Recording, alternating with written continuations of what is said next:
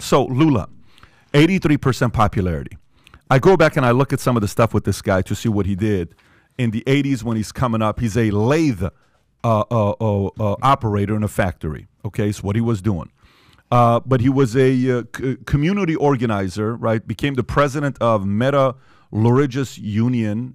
this was at the time where they were holding many strike, you know, for the workers, and he was kind of like a uh, I don't want to say Jimmy Hoffa, but he was a union uh, name going out there. Hey, it's not fair. This is not enough money. We let's strike. Let's do this. So he kept encouraging people to strike. But then in 1990, when uh, Fernando Collor de Mello won, this I think this was his first time losing or second time. He's lost a few times uh, uh, for times, bid for yeah. presidency.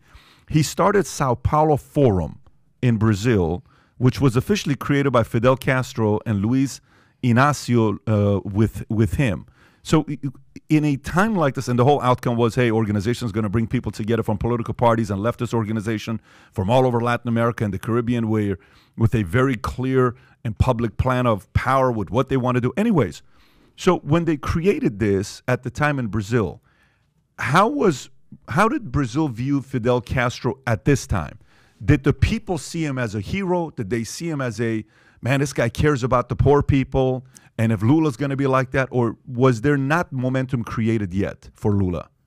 It, good point. Listen, uh, in Bra- Brazil is very divided in terms of uh, the political view and all that.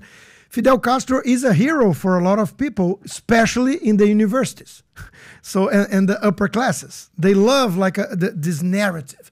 Oh, a guy that uh, went against a dictator uh, dictatorship uh, uh, and, and, took power to help people, and they love that. So the education in Cuba, uh, the, the the social uh, health in Cuba, free healthcare, yeah, freedom of care. They, they love this narrative, but well, nowadays I think they understand. at least the majority, they understand it sucks so, uh, and and just for you to understand, during the uh, many years, there's one, there was only one guy that we both uh, know, and and he passed away a few years ago, and he was very important to the right movement, Olavo de Carvalho. There was only one guy in the media talking about this, the Foro de São Paulo, only him. And, and in the mainstream media, they, they were treating it as a, a conspiracy theory like, no, that, that doesn't exist. the, the left is not united to bring back to Latin America what they lost in the in, in Europe. So they, they thought it was a, a lie. But yeah, many people still think Fidel Castro is a kind of hero.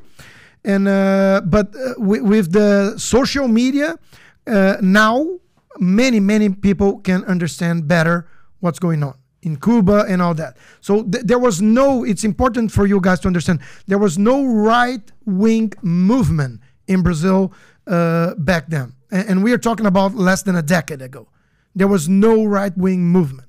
There was only one guy there, one another guy there, and that's it. Is it is it fair to say, like when I read about both of these guys, of politicians in the history of uh, Brazil, the two most strongest personalities who are loud, who are, you know, charismatic, it's these two, Bolsonaro and Lula. Is that a fair assessment? Where they're very good at selling their vision and casting their vision and speaking to their base. And historically, there's not been, even JK, who's known as your GOAT, you know, he's uh, one of the greatest presidents you guys have had. You know, they, they view him as somebody, a lot of people tell me this based on what I'm reading. Maybe you may correct me on that. You don't typically hear somebody that is, you know, they're more more poised the way they speak. You know, hey, here's what we do. This is what Brazil's all about. So was that one of the reasons why both of these guys got the kind of love that they got? I guess so. Yeah, uh, and, and they were both both populist, but I have a different different flavors of mm. populism, but to the sense that they appeal to the common man more than to the to the establishment. But I have to say, uh, I've never seen anyone like Bolsonaro in, in the sense of how much people likes him. So with all the craziness taking place, I believe future looks bright. If you believe future looks bright, get your latest Future Looks Bright hat of Valuetainment. It says Future Looks Bright here, Future Looks Bright here. We got them in white, we got them in black, we got them in red.